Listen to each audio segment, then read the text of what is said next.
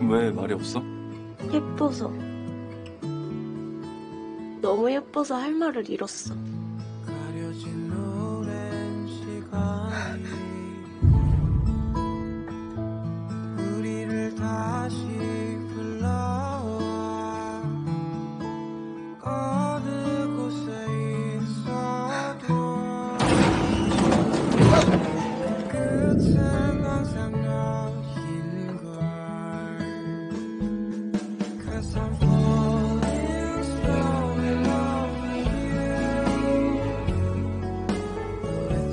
이러다 우리 여기서 같이 죽는 거 아닌가?